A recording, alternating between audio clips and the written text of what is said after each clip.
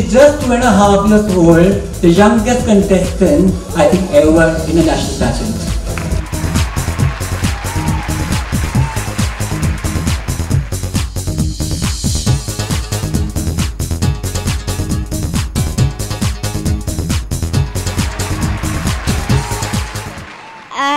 नाज जोशी जो कि सबसे बड़ी है डायरेक्टर उनने मुझे इतना इतना इतना अच्छे से सिखाया जो और मेरी मम्मा जो उन दोनों ने मुझे मिलकर सिखाकर इसलिए मैं एक कॉन्टेस्ट जीत पाई।